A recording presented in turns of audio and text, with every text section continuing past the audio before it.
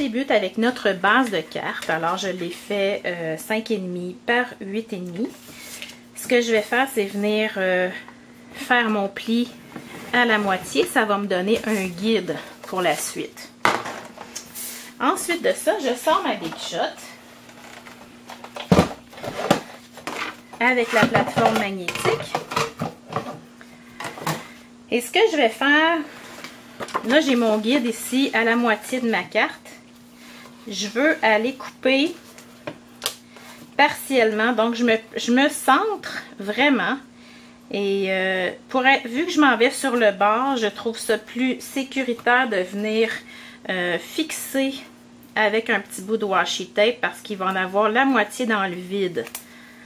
Donc, c'est pas que ma plateforme ne fait pas le travail, mais c'est que je vais lui en demander beaucoup, là. Donc, ce que je vais faire, je veux que ce soit, si on regarde la carte ici, je veux que ce soit la partie ici euh, qui soit perforée, mais pas l'autre partie. Alors, je suis bien placée. Ce que je vais faire, je pourrais, je venir me faire une marque. Euh, c'est ce que j'avais fait d'ailleurs la première fois. Attendez-moi un petit peu.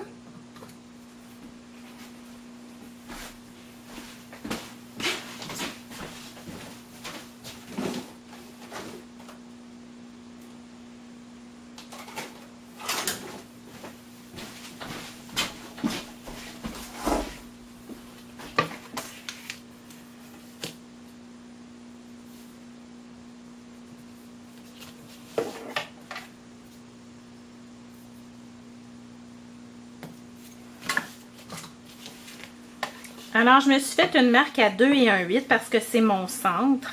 Et là, je vais venir me placer vraiment avec ma marque. Je vais m'arranger pour que vous me voyez. La marque sur le bord de mon tapis de coupe. Donc ça, c'est la portion que je veux couper ici, mais pas celle-là. Donc, euh, pardon, c'est l'inverse là. Ce que je veux couper, c'est ça ici. Donc, c'est pour ça que ce que je veux pas couper, c'est en dehors de mon tapis de coupe. Voilà, je vais y arriver. Et puis, euh, je vais me placer comme il faut. Des fois, c'est pas bon d'aller trop vite dans les vidéos non plus. Là, j'ai bougé. Alors, je vais me positionner vraiment comme il faut. Et je vais passer ça dans ma machine. Alors, ce que ça me donne, c'est ça ici ce que j'ai à faire maintenant, c'est aller faire mon pli. Donc, à 2 et 1 8, où j'avais fait ma marque. Mais là, attention, je ne veux pas perforer euh, plus loin que le début de mon ovale. Je vais voir. Parce que sinon, je me retrouve avec un pli et je ne veux pas en avoir. Donc, j'efface mes petites marques. Et je vais prendre mon plioir en os que j'aime beaucoup.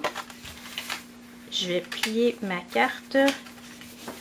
Je me place bien bien pour que ça soit super beau ici. Et ensuite, je vais faire mon pli ici en laissant sortir la partie que j'ai découpée. Et là, je me place pour que ça soit super bien parce que des fois, il y a un millimètre qui paraît. Et je viens pousser pour envoyer le surplus vers mon pli. Et ça me donne cette carte-ci. Maintenant, comment on décore ça? On a le beau papier qui va avec le lot ici, café à emporter. Euh, moi, j'ai pris cette grosseur-là, donc ce verre-là, et j'ai décidé d'aller joindre un papier plus imprimé et l'autre, dans le fond, différent. Pas trop, tu sais, je mettrais, je pourrais mettre ça aussi, ça serait joli. J'ai décidé de, de choisir ceux-là. Donc, J'applique ma colle. Moi, j'aime beaucoup la colle liquide.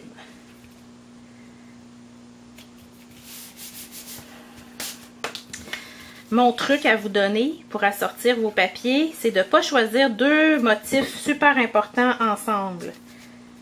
On ne veut pas aller faire trop de compétition entre les deux, puis qui ne volent pas non plus la vedette à notre punch qui va être ici.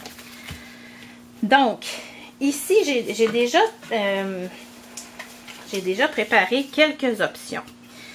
Alors, si je m'en vais utiliser mon verre olive, je l'ai fait, puis il va recouvrir toute tout l'ovale. J'aurais pu le faire plus petit, voyez-vous. Ça, ça nous montre que c'est toute d'une pièce ma base de cartes, puis c'est le fun. Celles qui sont habituées d'en faire, puis qui connaissent ça, ils vont trouver ça le fun de voir le brune dune qui fait partie de la base de cartes avec. Si vous trouvez que ça ne donne pas assez d'effet, alors vous pouvez, vous auriez pu faire votre base en verre olive aussi. Vous pouvez venir couper avec ça, c'est sûr que ça le recouvre au complet. C'est à votre choix. Je vous montre ensuite, là j'ai été euh, déjà étampé mon petit verre et un petit peu croche. Pas vraiment grave. C'est qu'avec les étampes en résine, il faut faire attention quand on les applique pour ne pas euh, les appliquer croche tout simplement. Ici, ça me dérange pas plus que ça parce que je vais avoir un vœu qui va venir euh, complètement remplir l'intérieur de mon gobelet de café. Et je sais pas si vous avez vu, mais il y a moyen de faire des smoothies, des cafés glacés avec une paille, faire de la crème fouettée, ça peut être de la crème glacée, ça peut être un, muffin. Il y a tellement de tellement d'idées différentes. C'est pour ça qu'il est populaire comme ça. Donc, j'ai choisi ici le bonheur. C'est un petit café avec toi. Ça colle instantanément. C'est-tu le fun, hein? On aime ça dans le verre olive. Là, mon verre, il n'est pas parfait. Je vous ai expliqué pourquoi et je n'ai pas corrigé ça. Donc, euh, je pense pas qu'au final, on va être vraiment attiré par « Oh non, elle a fait sa croche. » Et donc là, je regarde avant de choisir. Sur quoi ça va sortir plus? C'est sûr que c'est beau parce que là, en brune dune, sur brune dune, regardez. faut faire des tests. Alors, je choisis. Mais si vous voulez vraiment que ça fasse... Euh, oh ben, c'est tout pris ensemble, comme je disais tantôt. Vous laissez le brune dune ou vous prenez vert olive. Ensuite de ça, je vais venir placer couleur café. C'est mon rappel. Et une carte qui parle de café, ça prend du couleur café, hein, on s'entend. Ça vient apporter aussi euh, la petite touche euh, de contraste avec le papier design à côté. Ici, j'ai des mini points euh, dimensionneurs, dans le fond, des mini points mousse. J'ai décidé de la pencher un petit peu. J'ai déjà fait mon petit couvercle qui aurait pu être aussi un petit couvercle transparent avec une paille pour un café glacé. On a de quoi faire des glaçons là-dedans. Il y a tout plein de possibilités. Je vais vous en montrer d'autres cette année. On va le mettre comme ça. Bon, c'est fait. Ensuite, dans le papier design, on a des belles feuilles où il y a des grains de café puis où il y a plein de petites cafetières. Je trouvais ça le fun de venir en mettre une ici en dimension.